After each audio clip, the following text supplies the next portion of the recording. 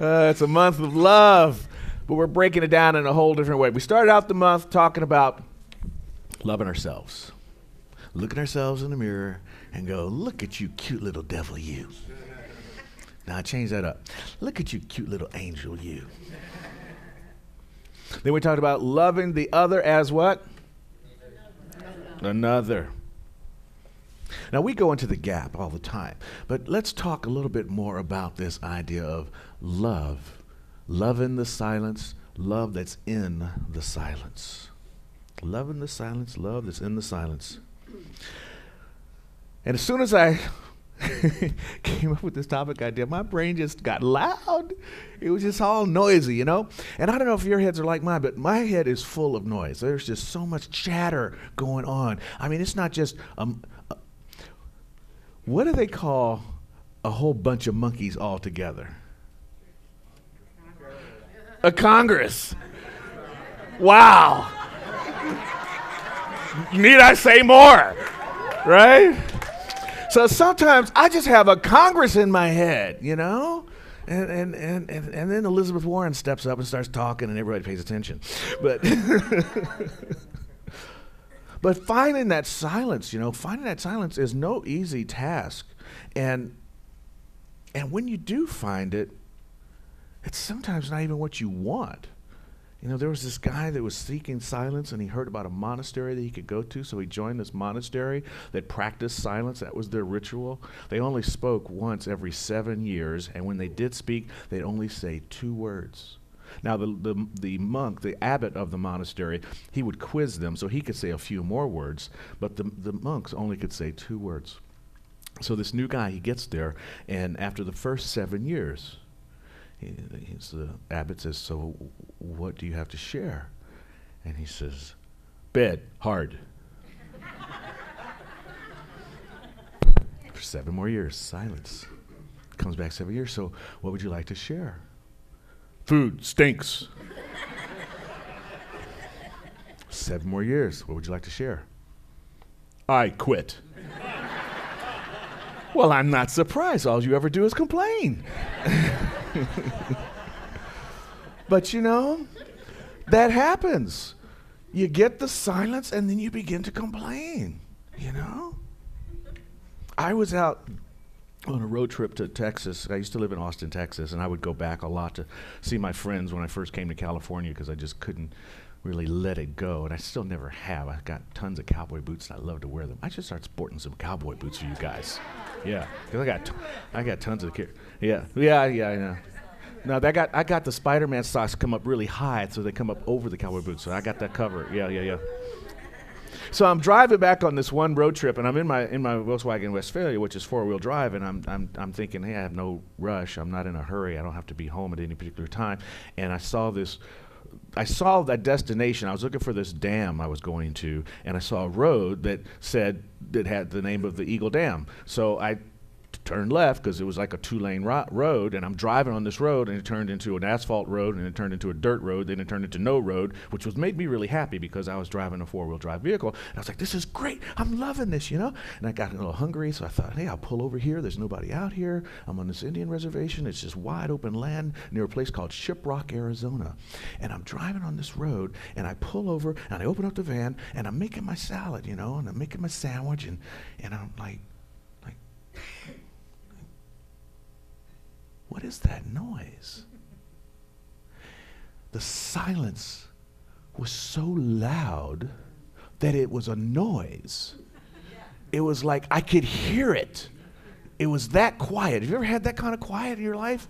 My God, it was just, whoa. To this day, I can still get the God bumps when I think about it. Like I was actually going, oh, yeah, wow, that's intense, you know? But even at that moment, I kind of was like, it was bugging me because it was so quiet, you know? But I did have the Romans 12 2 experience. I had this, I, I, was transformed by the renewing of my mind. In that moment, I came to understand just how valuable it is to have some of these quiet moments. So I now I seek them out on purpose. And I like to share that with you. And that's why I love the gap. That's, that's the value in it. I love the moment where it gets so quiet that I want to stay there and I don't even want the next thought to come in. Because there's so much love, there's so much wisdom in the silence. Meister Eckhart says, There is nothing in the world that resembles God so much as silence. It's a nice idea to listen. You know, think about the, the wonders that we see, like a sunset, it doesn't have to make any noise, but it's so beautiful, it's so amazing, it's so marvelous. Or this time of year, uh, some friends were sending me pictures from, from Mammoth, and I'm seeing all that snow, and it made me think about a snowy morning when you look out and it's just like hush from the snow. It's like an insulation. There's no noise. It's just silence. Even the crunching, the crunching sound of the snow, there's a silence between each crunch and it's crunch. It's like, whoa, it's just such a beautiful experience, you know? There's so much joy in that moment. Or my favorite, just watching a baby sleep. Saw a friend of mine with his son Jeremiah yesterday, and his son was like laid up in his arms sleeping, and just just the joy and to see the father holding the son. Man, you know, holding your, your kid is just a beautiful thing. I know moms get to hold him a lot, but when the guy's holding him, it's just so gorgeous. And, and he was just, I just sat there and stared at him. He said, What you looking at? I'm looking at you being a crazy papa. You know, it's wonderful. Ernest Holmes talks about this. He says there is something so rich in this silence. He says, back, back in the innermost recesses of the uplifted thought and silent contemplation, there is a voice ever proclaiming, This is my beloved Son. That's what's waiting for you in that silence. That voice that tells you that you are the beloved of God. We are the sons and daughters of the only thing that is. We are the expression come to life. And when we have those moments where we just get a little quiet, then we can go there. Now, I don't mean to suggest this for anybody because I have a hard time doing it, but one way to get there is like to turn off the electronics. Yikes. Uh, turn off my iPhone? Are you kidding? There's silence in my iPhone. you know? All I have to do is like hit YouTube and, you know, and Google silence and up comes a YouTube that plays no, no noise. It's like, right? I need my phone, but no, if I can turn it off but I could shut off the TV. And the other day, I was reading the guidebook to try and learn how my DVR works, and I actually put it down. I went, no, I'm not going to do that because I will then start binge watching because I'll record everything that I need, that I think I need to see, and then because I recorded it, I will have to see it, and there goes the silence. But Dr. Holmes, I, I, I, always go to him when I'm having these struggles, you know, because he seems to have covered so much. I guess that's why the book is so thick. And he says that there really is there's, there's no place you have to go, and there's no particular formula you have to participate in, and, and there's no posture. You have to, like, define the silence. You don't have to do that, he says. He says it's for us to figure out for ourselves. He says that we enter this inner tabernacle by what route we may. This inner tabernacle and within us is the divine waiting. And as I was thinking about the word tabernacle, such a powerful word because you know when the when the um, Israelites during the Exodus story left Egypt and were roaming the desert, they wanted to take their religious practice with them. So they would erect a place to worship, and that place became the tabernacle, their place of worship and it was temporary. It moved. And that's metaphysically, you think about it, we are that temporary thing that's moving all the time, and Spirit is within us. So we are the tabernacle. We are the inner tabernacle. So we don't really have to go anywhere, do anything, assume any kind of posture. You just have to shut up for a minute and just be quiet. Right? But why doesn't it happen? Why don't I enter? Well, maybe the silence is MIA because I haven't maintained intention and attention. Did you check that out? Silence is MIA if you don't maintain intention and attention. MIA is your secret to the MIA. Giving some time and deciding that this is what I want to do. I just want to be in the quiet. I want to rest in the silence. John O'Donohue Great book, Anam Cara. So many of the other books that he's written in poetry, his philosophy. He says that uh, that that silence is the sister of the divine. It's the companion of the divine. And and I think it was from the silence that spirit, universal presence, divine intelligence, decided to burst forth into creation in the first place. So it's not like we have to be in the silence because obviously God said, I'm done with silence. Let's have experience, you know? But it came from that space of silence. So why go there? Because we get to go back to the original source, to the idea, to the beginning, to fresh newness. And what for? So we can deal with, with the weight of the world. Like these days, the world is heavy. It is at all times, but sometimes we just need an escape, you know? We need a, a solution and find an opening, a, a, a way, you see. And, and Dr. Holmes says that, that the silence, the silence is our communion with spirit. It's our awareness of our unity with good of our understanding that the Father within doeth the work, the mother within, the spirit within, the consciousness within, the idea within. Don't get hung up on the masculinity of the times where they use that as a particular way of using generic gender. That's just, you know, please let it go. I could have put thing, daughter, something, but I wanted to stick to the to the text. Silence is our communion with spirit, our awareness of our unity with good. When things aren't going so great, if we can get silent, the answer will arise to move us through whatever the experience is. It feels like it's an experience of not so good.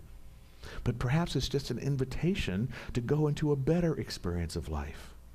And how are we going to find that better experience if we don't listen for the opportunity for the newness, for the, for the creation to burst forth into expression through and by means of us? by means of that spirit within us that is waiting to do the work, that's answering the question. You see, but first, what we might need to do is sit in that dark moment. You know?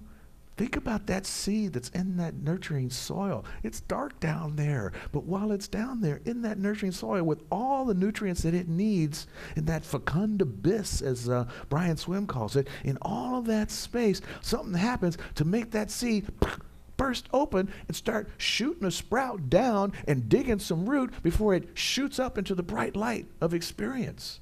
You know? Mark Nepo says we cannot bypass our seeding in the dark if we are to blossom in the light. So don't get all freaked out when things aren't going well. This too has come to pass. Do you want your life to be boring? That's why they got kicked out of the Garden of Eden in the first place. It was boring. Everything was just perfect. They had nothing to do. That's why they said, hey, let's eat this apple because we ain't got nothing to do. And then he said, get out. And what happened? Good and bad, left to right, up and down, the life of experience, the joy of living. And so, even in that song that the master was just singing, you know, hate was in the song, but love was in the song because both of those things exist to bring us into this experience of blossoming into our light. So, you know, trouble's going to happen. That's okay. But I have an invitation for you this week to enter into the silence, to enter into your particular silence, to find that mental atmosphere that brings you joy and to shift your climate. You know? A friend of mine this week was watching Dallas Raines, and he called me and says, Dallas says we're not in an El Nino, but it sure is raining a lot. What? I don't understand that.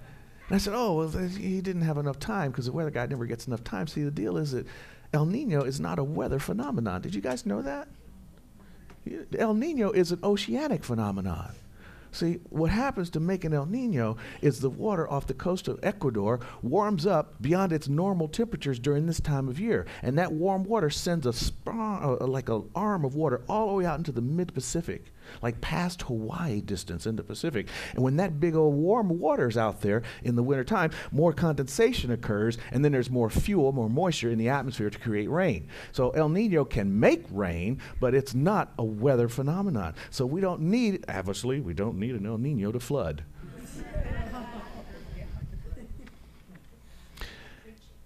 you don't need an El Nino to have your life flood it can just happen just by circumstance. And it's not what were you thinking. I just want to settle this right now. Do not ever tell me what were you thinking to make that happen to you. Because that's not how it happens. We are one life living in the experience of the planet, and stuff just happens everywhere and there are no boundaries. And so some of us are just receptors of things that are going on. And until we as a human species decide that we're going to be done with war, done with hunger, done with all these kind of things that make life not so good, some people are going to get it. As long as we continue to make the insurance buildings the tallest buildings downtown instead of the hospital, as long as we're going to pay the teachers the least amount of money and the firefighters and the first responders the least amount of money and the basketball players and the football players, hey, I love the Super Bowl. It was awesome this year, but still, they get a lot of money. Maybe we can give that, you know, spread it around a little bit. As long as that kind of stuff keeps happening, we're going to have the kind of troubles that we're having. It's not your consciousness that does it individually, but our consciousness is doing it collectively. Does that make sense? Yeah. That's how it's happening. That's how it's happening. So this week, I invite you to shift your own mental atmosphere by entering into a moment of silence. And this is the part in the service where I was going to read the passage that Patrick read. I love the one mine because I'm running a little bit long and now I don't have to do it because you heard it. God is so good. So I invite you to center yourself right now. And if you feel so inclined, I invite you to close your eyes as well. And see if you can hear the noise that is surrounding you. Perhaps it's a buzz that's in the room, the breathing of your neighbor. Breathe slowly, breathe deeply. Perhaps the noise is an inner noise in your own mind. I invite you to reflect on what the inner noise or perhaps the outer noise might be covering up. Listen for the kind of noise that you create with your thoughts so that other thoughts may not be able to arise.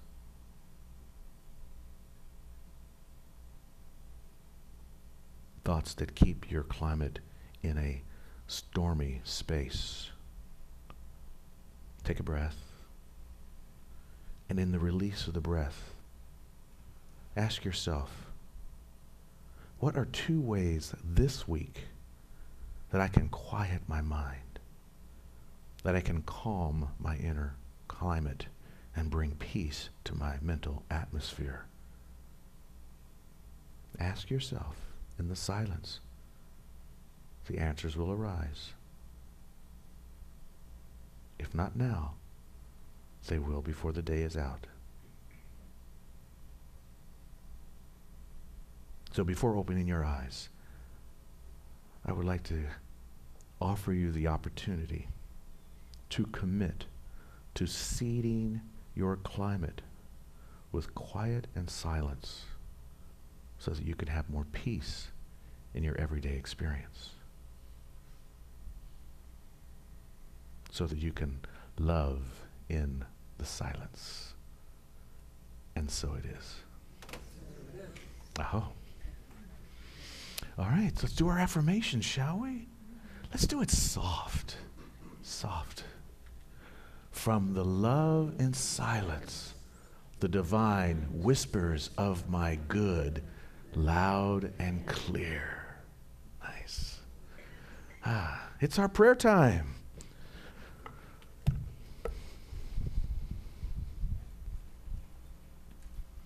Love's in need of love today.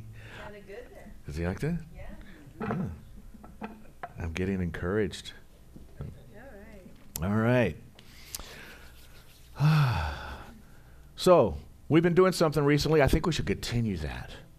Let's continue to make our prayers a collective prayer by shouting out the names of those that we want to have prayer for and if you feel like you know what the condition is, like for example, my mother, Patricia, wholeness, you know, uh, if that's where, what you're feeling, let's have it out nice and loud and proud. Here we go. Let's hear it.